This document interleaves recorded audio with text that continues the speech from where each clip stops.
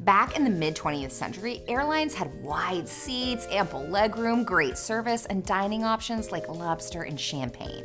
So, with all the technological advances since then, why is air travel so stingy today? Though it looked swanky, flying back then actually wasn't that convenient. There were fewer flights to choose from with a lot more layovers, so you couldn't always travel the day you wanted, and it could take twice as long to get to your destination.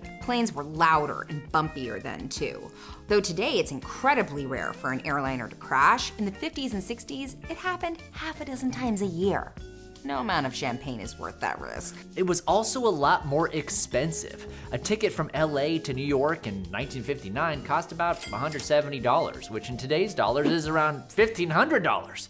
So the next time you're feeling nostalgic for the good old days of air travel, remember they weren't that good to begin with.